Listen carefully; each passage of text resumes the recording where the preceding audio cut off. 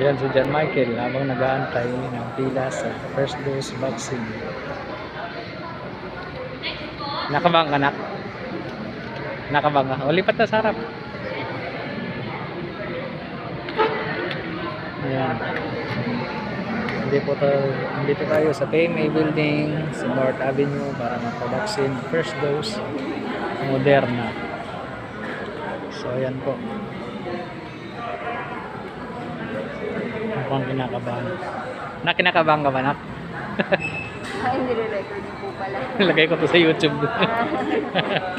First time niya din magpapakuna. Apo, pero sanay naman po yun sila sa ano? Sa bakuna. Ah, hindi naman masakit. oo nga eh. Masakit, mas masakit, sakit pa nga yung palo natin. Oo, tama. Yan.